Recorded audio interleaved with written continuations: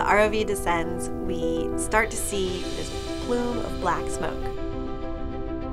And we're like, yes, we found it. And then this huge chimney comes into view, and it's just packed with giant tube worms.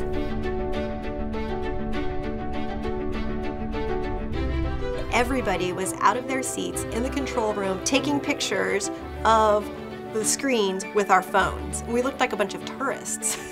we were.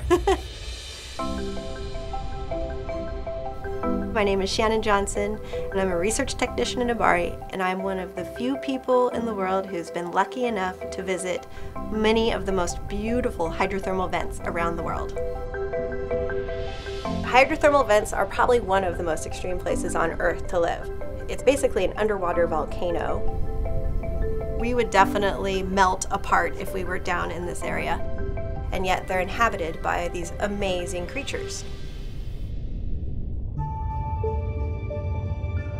Vents are very special places in the ocean. They act like these little island oases of food for animals because a lot of the bottom of the ocean is just mud. There's no sun. There's no light at all. It's completely pitch black.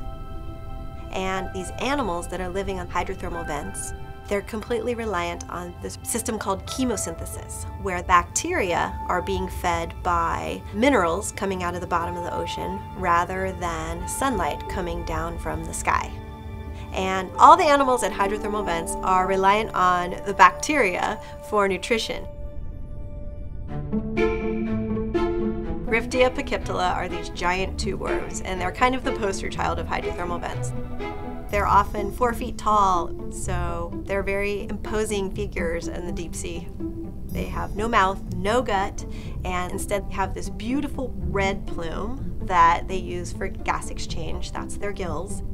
They pull minerals out of the water and deliver those to bacteria inside of their bodies, and the bacteria feed the worms.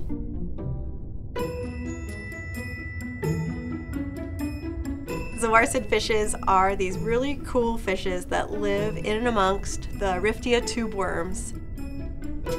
The Riftia are not bothered at all by the zoarcids because the zoarcids just help clean them and keep the parasites and things off of them, like the clownfish helps the anemone.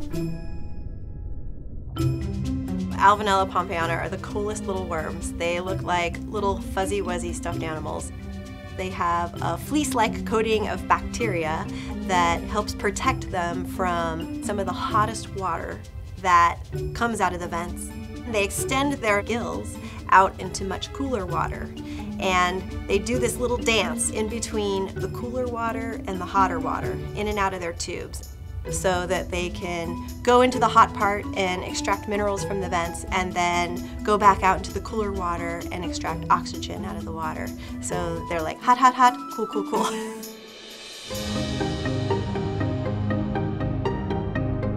There's nowhere else really like it on Earth where you have these amazing creatures that live right up close to these really extreme environments.